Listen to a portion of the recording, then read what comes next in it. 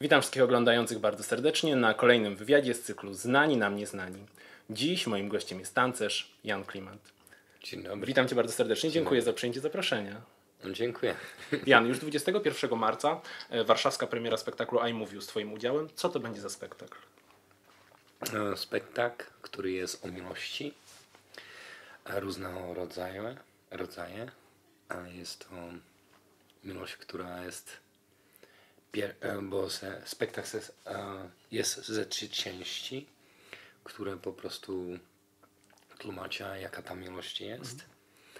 I pierwsza część jest taka mł- młodzie, młodzie, z młodzieży, z, z takich początkujących lat, na przykład do tego, ja nie wiem, 18 roku życia, 17 roku.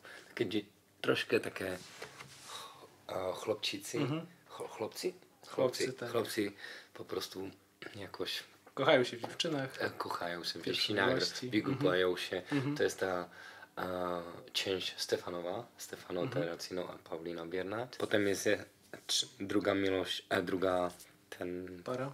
No, nie, no druga para Druga to część. jesteśmy, druga Mhm. część to jesteśmy Miss Anią, a to jest taka, nazwijmy to mu taka miłość taka przedmiotowa, że po prostu czasem traktuje tych ludzi Mhm. em, tylko jako przedmiot, em, wykorzystywać je do różnych satysfakcji Mhm. dla siebie, nie dla drugiego. I trzecia historia jest taka a, taka dojrzała, taka ta wiśnie, taka dream, taka, a, taka ta naprawdę Wymarzona. wymarzona taka. No a tu tańczy Krzysztof Ulboj, a Jania Lessar. Czyli rozumiem, że też tytuł spektaklu I Move You to trochę nawiązanie do I Love You. No tak, tak, tak. Tylko, że przez taniec Tak, tak, wyrażany. tak. Tak, dokładnie. To, to myśmy próbowali wyrazić I love you, Mhm. jako że I move you. Możemy cię poruszyć, poruszyć uczuciami, poruszyć tancem, poruszyć miłości. Mhm. Tak, tak próbowaliśmy jakoś dać do tego więcej sami ze siebie. Tak. No właśnie, spektakl e, będzie miał teraz premierę w Warszawie, wcześniej miał premierę swoją w Białymstoku e, i, czy, i czytałem na stronie internetowej e, waszego spektaklu, że spektakl będzie trochę zmodyfikowany. Na czym te modyfikacje będą polegały? Co będzie innego? Co będzie w Warszawie, czego nie było w Białymstoku albo odwrotnie? No jest to wszystko w trakcie działania teraz, jeszcze, bo mamy tydzień przed premierą. A w czym będzie inaczej, bo w pierwszych, jeszcze dokładnie tak nie jest, jesteśmy naprawdę w trakcie pracy, rozwoju tego spektaklu. A e, jest tam kilka zapytań, jest, na którymi się zasta- zastanawiamy, czy będziemy wyużywać znowu wideoprojekcję, bo to był spektakl, który myśmy wyużywali, e, używali wideoprojekcji, a do tego jeszcze było bardzo fajne, no bo trochę ro- inne wchodzili dwa aktorzy z Białego Stoku, tak? A teraz jest, jesteśmy w trakcie, czy będziemy używać tej wideoprojekcji, czy będziemy używać tych aktorów, czy jak to będzie dokładnie, czy... A to ja bych zostawił trochę taki jak Znak mówię, zapytania. znak zapytania. Żeby bo- widzowie przyszli i zobaczyli, Tak, jak aby będzie zobaczyli jak to będzie inne trochę, a co myślę, że będzie ciekawe do zastanowienia się. No i o waszym spektaklu mówi się, że jest to spektakl taneczno-aktorski, ale mi się wydaje, że chyba za każdym razem tańcząc jednak trzeba te elementy gry aktorskiej przekazywać i każdy tancerz trochę z aktora musi mieć w sobie. No tak, ja myślę, że przez ruch, przez ruch możecie wyrazi, wyrazić emocje, przez ruch e, wam ludzie zrozumieją, co wam idzie w głowie. Bo na przykład było fajnie dzisiaj, e, że pan Edward powiedział, że, że jest najcięższe nudzić się na scenie, pokazać nudę. A jakoś to nam wychodzi na razie najlepiej. że bośmy tak siedzieli okolo po tej sali, a było fajnie, że ona mówi, najczęściej nudzić się na scenie, bo robicie na przykład jakiś ruch, gracie z palcama, a to w jakimś sensie robię inny ruch, oglądam, a dla widzów jest inne uczucie, bo się tak. nudzę, tak? A było śmieszne na tom to, że on nam to mówił, a myśmy trochę wszyscy siedzieli, a trochę się nudzili. tylko sme słuchali, co on mówi, a to było fajne. Tak, tak jakoś to jest, to se uczymy do tego pom, pom, przez ruch wyrazić jakieś emocje, jakieś ja bych to nie nazwał aktorstwa. A ty nigdy nie myślałeś o tym, żeby zostać aktorem, nie tancerzem? Ja nigdy. Ja mam tak na razie problem mówić po polsku. No, ale bardzo dobrze sobie radzisz. nie, nie. Tak. A jak to się stało, że, że taniec pojawił się w twoim życiu? No bo to nie jest mm, stereotypowo najbardziej męskie zajęcie. Jak chłopcy coś robią jak są mali, to zwykle to jest jakaś piłka nożna, czasem koszykówka, a nie taniec. Skąd ten taniec w twoim życiu? A w moim życiu taniec sobie znaleźć w 18 roku życia. U nas To tak, stosunkowo późno. tak, bardzo późno. Bo u nas jest taka tradycja, że my chodzimy, e, mówimy się uczyć social dancing. A to social dancing to ma jakąś tradycję. Macie 15 roku, 15 roku życia macie, jesteście w 15, 15 lat, macie 15 lat, a idziecie z całą klasą, idziecie się uczyć social dancing. A to jest ponad 3 miesiące. To my, to my nazywamy taneczni. To jest taki okres, nazwa taneczni, że idziemy, a uczymy się z całą klasą. Tylko w tej klasie jest fajne, gdyż jest, są kobiety jako gimnazjum, a tak, że to jest pomieszane. A ja sam był e, w takim takiej szkole jako hutnik, to tylko faceci byli. tak, a tak czasami jest, że oni połączą na przykład kelnerki z hutnikami, a idą razem, a już tam są te dziewczyny, tak? Tylko nasi faceci jakoś z tej szkoły w ogóle nie mieli chęć do tego, tak w ogóle się nie udało zrobić z tego taką tradycję. Inne szkoły to mają na pewno, co, co przychodzicie do 15 roku życia, wchodzicie się uczyć social dancing. No, a mnie to trochę zajęło dwa lata znaleźć, gdzie się dopasować. Dlatego ja sam zacząłem trochę później. Miałem 17, niecałych 18, a wchodził sam na to social dancing. Ale ten pierwszy punkt to był Dirty Dancing. Dirty Dancing, który sam zobaczył, jak Patryk Swayze po prostu prowadzi kobiety, to mi się marzyło o tym, tak prowadzić kobiety, jak on prowadził. Uwodzić można. Nie wiem. I od 18 roku życia rozumiem, że zacząłeś profesjonalnie już trenować. E, No nie, dopiero sam zaczął tam ten social Aha. dancing. 17, 18 e, to się skończyło, ten social To kiedy postanowiłeś zrobić no, coś z tym dalej? Od razu potem jsme mieli taki pokaz na końcu tej, jak się uczycie całej tej klasy, trzy miesiące, macie taki pokaz. A potem pokazie, tam przychodzili zawodowcy nam robić Mhm. egzybicje takie. No a ja do nich sam się skontaktował od razu, to było z tego miasta, Mhm. gdzie ja mieszkałem, a od razu sam wpadł na pomysł, że oni mnie zapraszali, bo potrzebowali chętnych facetów, bo Mhm. Było mało. facetów jest bardzo mało do tańca. Myślę, że w Polsce jest najwięcej jasne. Ja mam takie wrażenie. Mhm. I jak wspominasz te swoje pierwsze profesjonalne już treningi? Od razu ci się wszystko spodobało, czy może było tak, że nie do końca miałeś wątpliwości? Nie, w ogóle. Mi się wszystko podobało. Wszystko.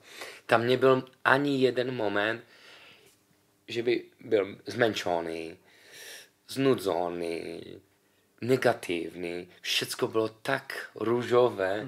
Ja myślałem, że tak naprawdę ten początek to mnie, to pragnienie, nie? bo ten desire, to pragnienie, to mnie pociągnęło najwięcej do przodu jako tancerz. Być, nau, nauczyć. W tych czasach jeszcze nie myślałem o tym, być dobry, być mistrzem Czech, mistrzem Szwajcarii. W ogóle mi to nie szło do głowy. Nie poszło mi to w głowie taka fantazja. Mnie poszło w, glo, w głowę, a dlaczego ten ruch? A fajnie umiem jeden obrót, no to kurde, dam dwa, trzy, takie, tak od początku sam, tak naturalnie. Chcecie coraz więcej, jakiś moment. No i ty cały czas rozwijałeś się w tym tańcu, były kolejne mistrzostwa, sukcesy, aż w końcu przyszedł taniec z gwiazdami. Zdaje się, że najpierw w Czechach tańczyłeś w Tak, tak, tak, dokładnie, dokładnie. A, jesteś bardzo przygotowany do mojej rozmowy. Wszystko fajnie, fajnie, zawodowo, no. To dlaczego, Um, dlaczego później zdecydowałeś się, że będziesz tańczył z gwiazdami, ale w Polsce? Tak, powiem od początku, bo taneczna kariera u mnie była taka e, turniejowa, tak naprawdę 18 lat, tak? I potem, po tym turnieju, bo zdobyłem Mistrzostwa Europy w finale w zawodowcach bo zawsze jest taki okres. Jesteście amator, Mhm. potem przechodzicie, a jest następny krok do przodu, jest zawodowiec. Mhm. Tak, jako amator osiągnąłem bardzo fajne wyniki, bardzo byłem zadowolony. Mówię, no teraz jest w końcu krok do tych Mhm. Poziom zawodowców. Mhm. O tak, dokładnie powiś, e, e, jak to mówicie? Poziom wyżej. Poziom wyżej, tak, dokładnie.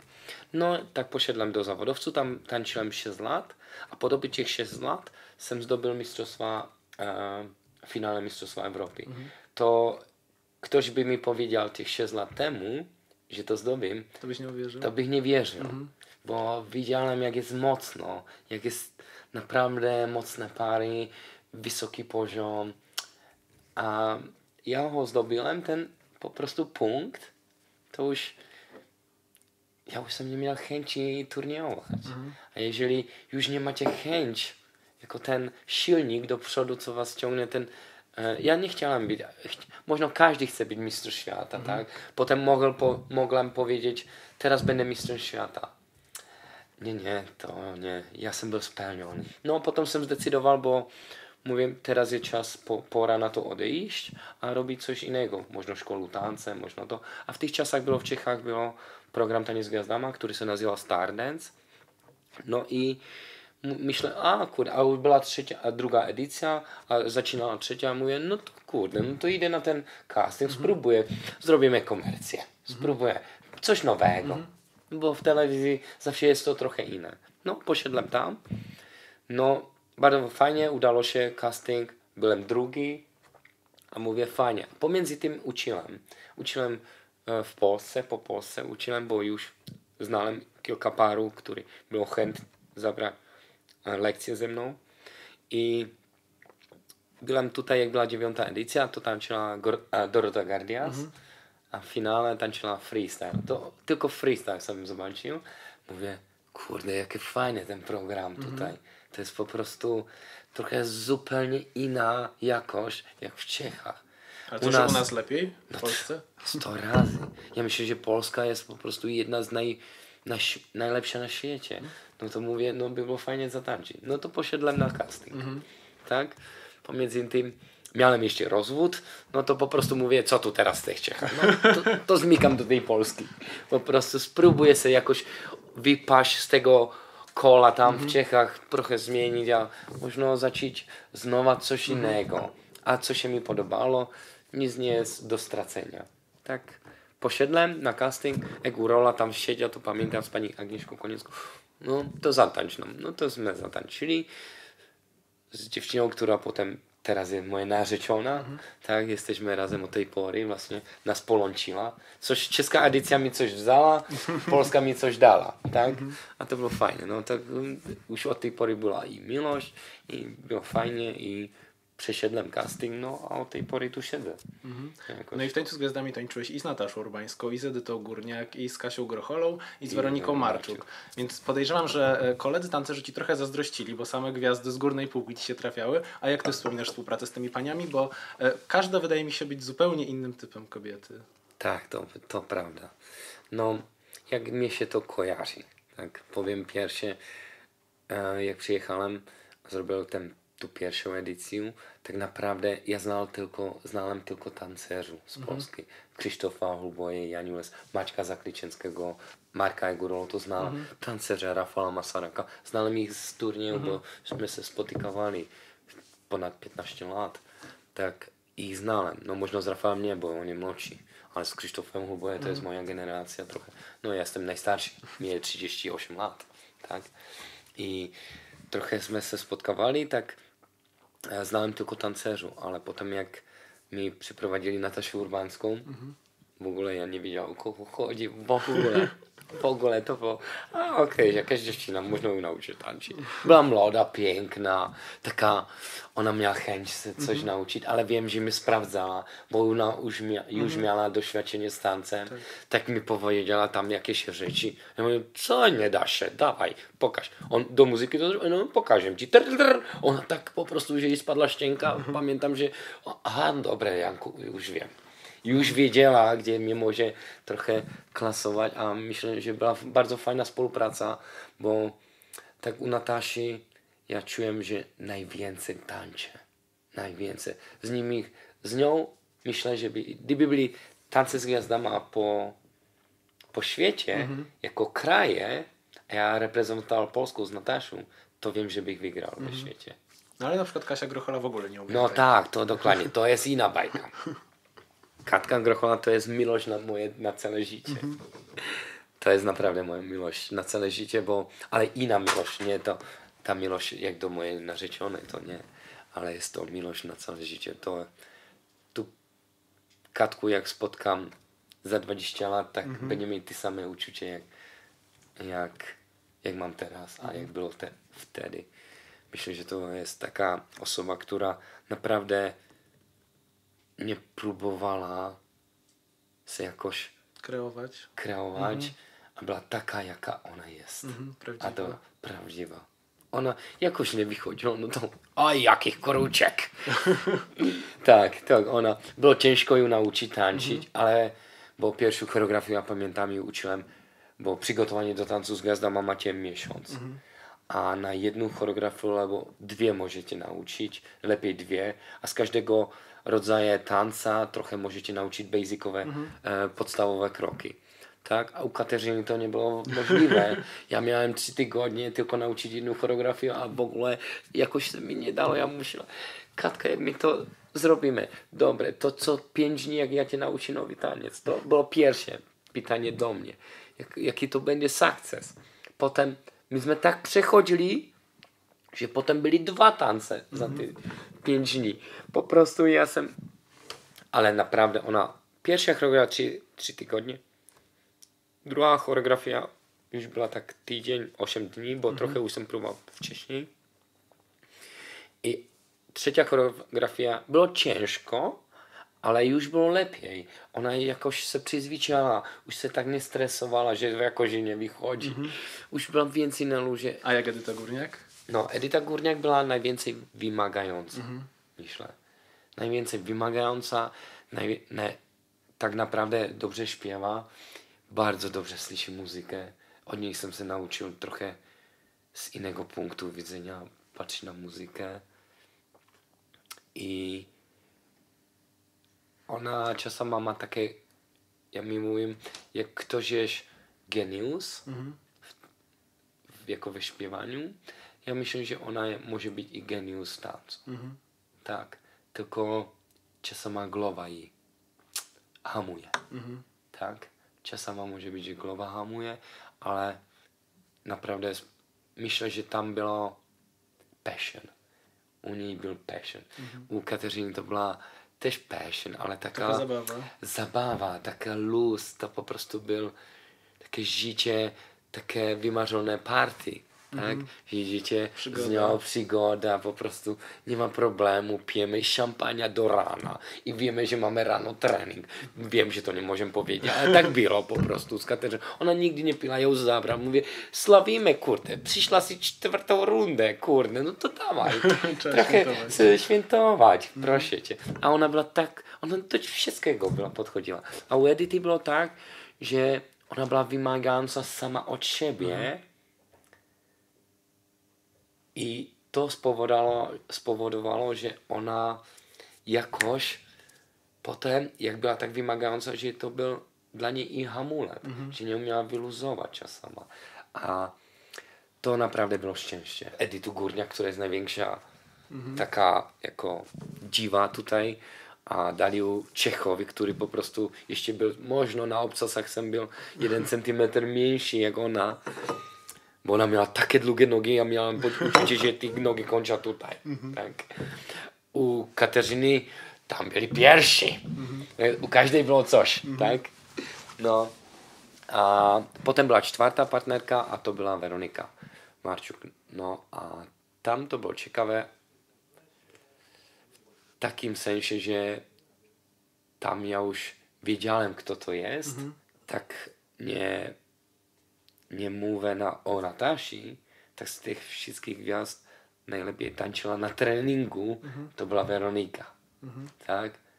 E, e, oprócz tej Natashi, bo to już trochę była taka już e, doświadczona z tancem, ale nie z towarzyskim. I Weronika tak naprawdę się nauczyła, myślę, że na więcej. No i Tańc z Gwiazdami Tobie i innym tancerzom przyniósł bardzo dużą popularność i wydaje mi się, że to było coś nowego w Twoim życiu. Pojawili się paparazzi, pojawili się fotoreportaże, które na różnych imprezach robią Wam zdjęcia, pojawiły się plotki na, na różnych portalach plotkarskich. Jak Ty się z tym oswajałeś? Z plotkama? I z tym całym show biznesem, No, który został ja tak naprawdę muszę powiedzieć, że jestem 4, 3 lata, tak jeżdżę, jeszcze do Czech, tak jeżdżę, ale myślę, że tak naprawdę nie kupiłem ani jedną gazetę kolorową nigdy. I zawsze co się narzucało, co się stało, co piszą, to przychodziło ze zewnątrz. O znajomych, tak, co tam. Moja dziewczyna mi mówiła, bo po prostu była zazdrosna. Nie, bo nie zazdrosna, powiem, była wściekła, bo po prostu pisał jakieś bzdury, tak. I to po prostu się do mnie dotarło. Tak potem sam się zastanawiał, czy coś z tym nie zrobić. A ja myślę, że nie trzeba walczyć.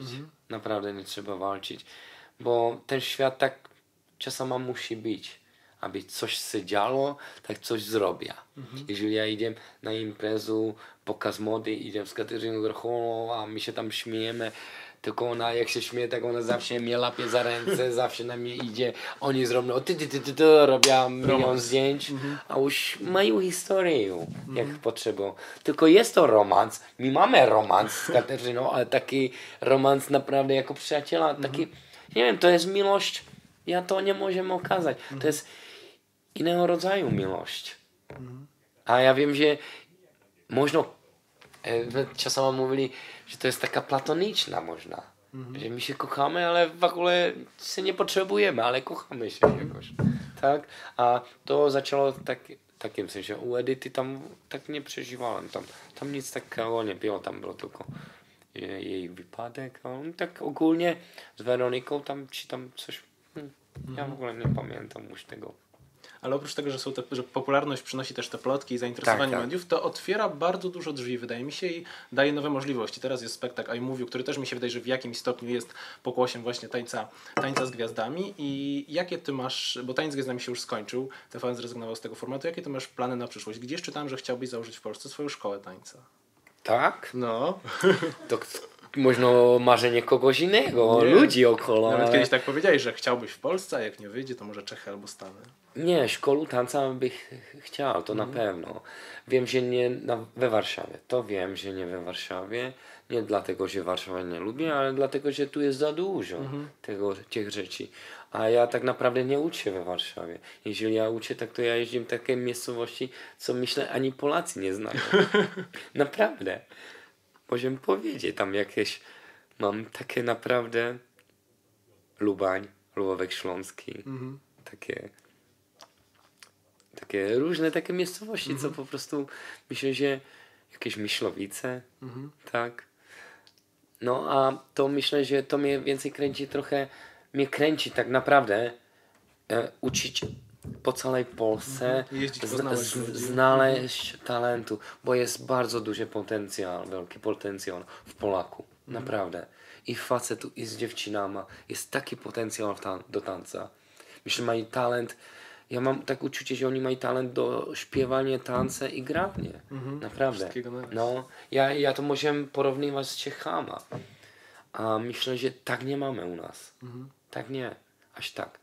Taki potencjał, co tu jest, tylko je trzeba Wydobyć. wi- wydobyć, a wyciągnąć, a pracować na tym, tak? A dlatego ja lubię jeździć, ale w szkole tańce tak w Polsce tak naprawdę nie chcę. Nie chcę założyć. Myślę tak naprawdę Czechy, ale więcej myślę u morza.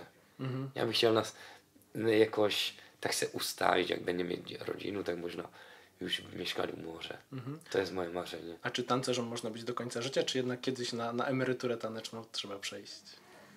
No to emerytura taneczna jest taka, że właśnie tak naprawdę uczycie taniec, możecie sędziować ten taniec, możecie robić choreografię w teatrze, a tak, także cały czas możecie być w tym tancu.